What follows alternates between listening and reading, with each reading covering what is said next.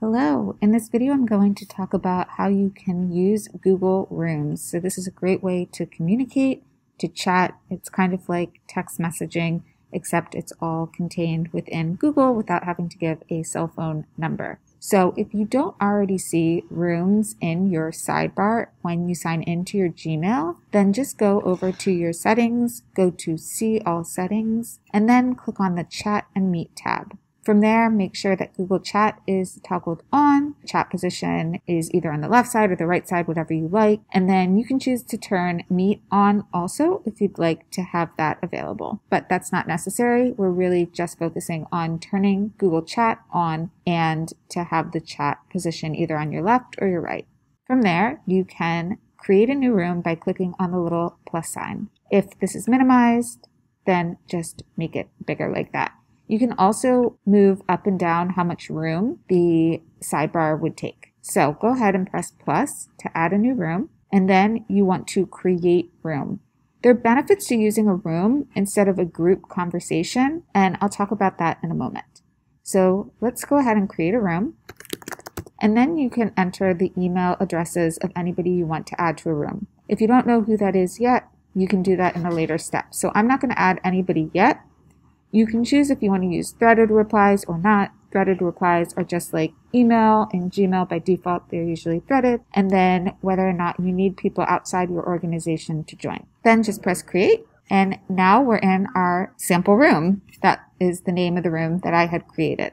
To add members at a later time, you can just click on the drop down. You can add people and bots bots would be some automated things. Don't worry too much about that. You could just add people. All that stuff will be found in that drop down. In addition, at the beginning, you'll have the add people down here. Now, what does this look like? You can generally just send little chat messages here. People will then be able to react with an emoji if you'd like. Just like that. You can actually hover over to see who has responded with that certain emoji. So you would be able to see if you wanted to do a poll or you just want people to react to make sure that they had read it. If you need to edit that message, you can click on the little pencil icon to edit your message and you can delete a message here also. If it's necessary to send any of these messages to your email, you can forward it to your email inbox. Some other things you can do is you can upload a file, you can attach something from your Google Drive, you can actually create a new Google Doc right from here. You can also launch a video meeting or add a scheduled calendar event. Now, the reason I said that rooms are better than a group chat is because in addition, in a room, you have this files tab where you can add any files that you want easily accessible by anybody in the room. In addition, you can add tasks.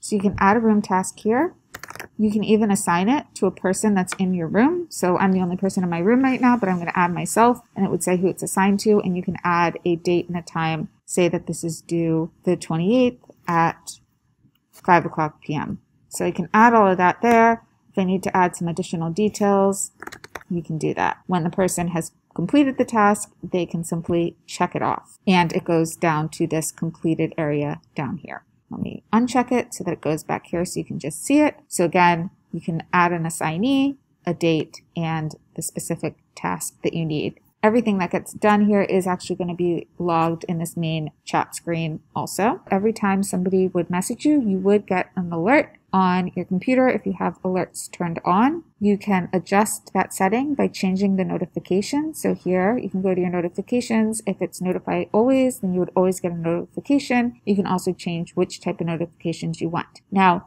I'm going to move over in a moment to showing how this works on the phone. So again, it can be more like a text message. One last thing before I move there. When you assign a task, you can only assign it to one person. So if I added another student here, you can see that I can change who I assigned it to, but I cannot assign to more than one person. Only one person can be assigned a task. Okay, so let's go ahead and move over to talking about what this looks like on the phone.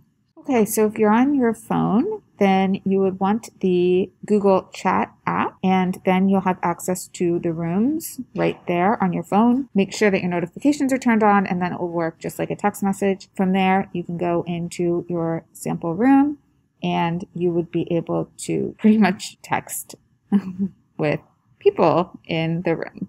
You can also add images, things from your camera roll, things from your Google Drive, very similar to what you could do on the web. And anytime somebody messages, you would get a notification on your phone. If you're not getting notifications, you just want to make sure that you have notifications turned on for all messages. In addition, in your settings, go to your notifications and make sure that your chat notifications are turned on. That's really it. That's how you get started with rooms in your Gmail. You can use that for office communication, student communication, whatever you might need. It's a great way to organize files for a brainstorm. Students could also use this to organize things for a project, and they also have the task list to be able to assign things to group members, and you can do that for your colleagues. Now, the last thing that I want to mention, if you are just in your normal Gmail, for example, and somebody messages you,